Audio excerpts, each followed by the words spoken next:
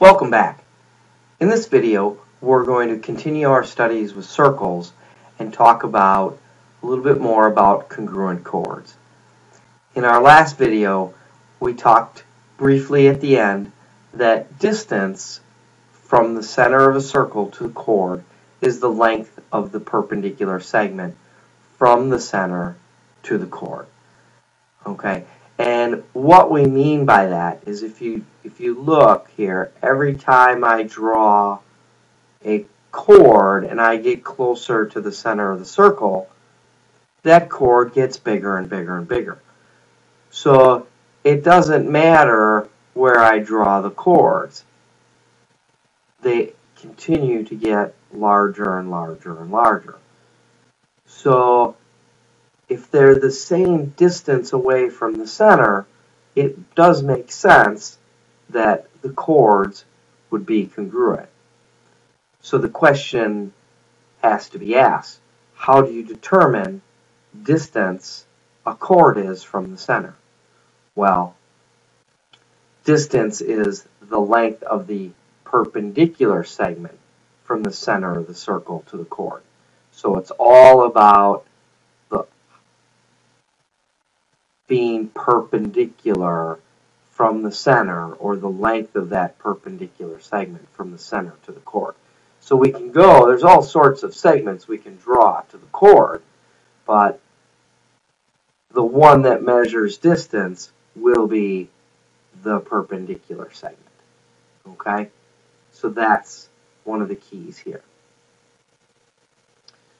So in our studies, we have a theorem that says if two chords are equidistant from the center of the circle, then they, meaning the two chords, are congruent. So here we're given that segment SA is congruent to segment SB, and that SA is perpendicular to PQ and SB is perpendicular to BR. So here we have perpendicular segments of equal length. So what we have here, this whole combination of givens in the context of a circle and chords is what I call that story of equal distance from the center of a circle. That's really what this is. This combination, yes, it's you know, SA is congruent to SB, and SA is perpendicular to PQ, and perpendicular forms right angles. But really, as a combination of givens, these all combined together is our story of equidistance. So, based on that, then, we would be able to prove that PQ, chord PQ, is congruent to chord PR because they are equidistant from the center of the circle. And of course, the converse of that is true. If two chords are congruent, then they must be equal distance or equidistant from the center. So if we start with two congruent chords, okay, so if we start with, you know, AB is congruent to XY,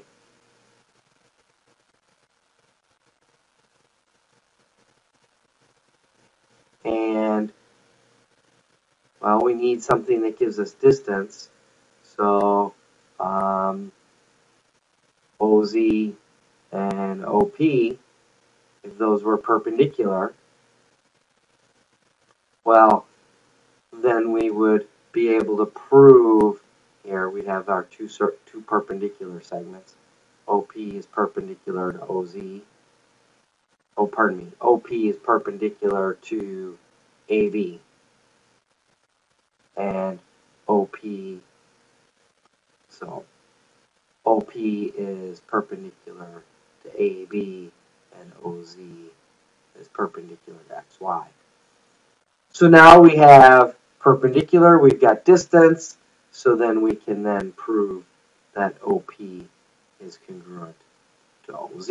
So the converse is true. They're equidistant from the center of the circle because the chords were congruent. And we have distance. We have the length of the perpendicular segment. So let's take a look at a couple sample problems.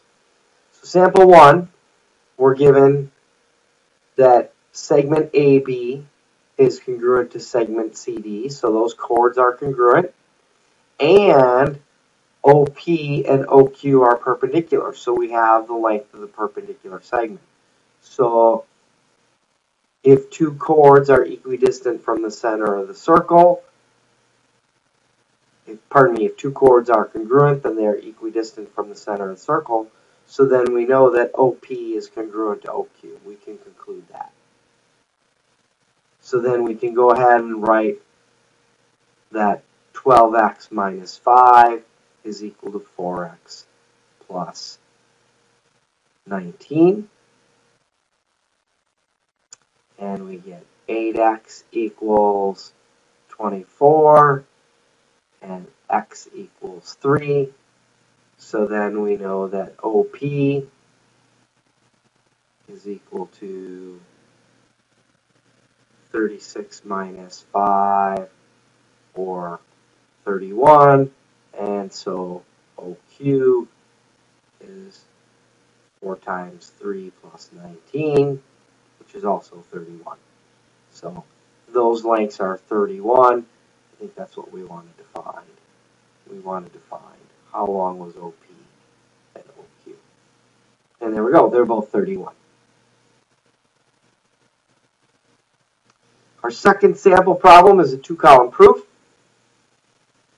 We're given that triangle ABC, our big triangle out here is isosceles with base AC and we're given this is circle P, so this is the center of our circle, and PQ is perpendicular to AB, and PR is perpendicular to CB. Well, we should know that AB and CB are congruent. Those two chords are congruent. So AB is congruent to CB, because legs of an isosceles triangle are congruent. And then we're given perpendicular segments. So we've got, we're really working on distance here. Now we know we've got distance from the center of the circle because we've got perpendicular segments. Well, if the chords are congruent, then they are equidistant from the center of the circle. So, given what we have here, we now know that segment PR is congruent to segment PQ.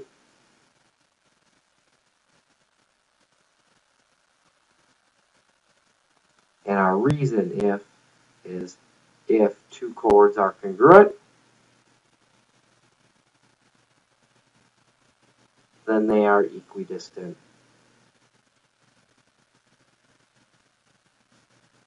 from the center of the circle.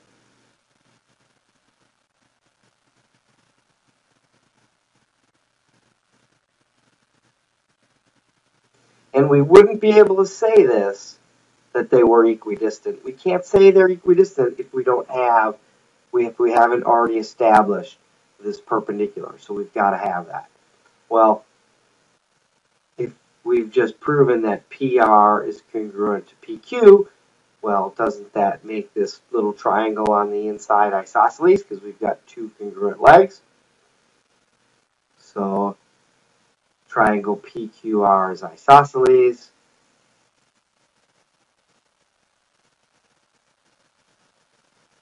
And we can say if congruent legs, then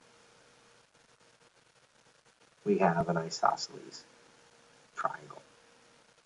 So there's a couple sample problems, a find problem, and a two-column proof using the concept of congruent chords that are equidistant from the center of the circle.